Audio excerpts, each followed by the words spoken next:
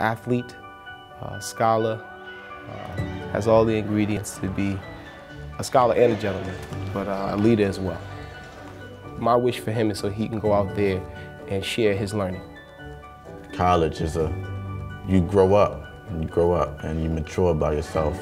You become the, the young man or the young woman so you can eventually provide for yourself and, and later on in years provide for others.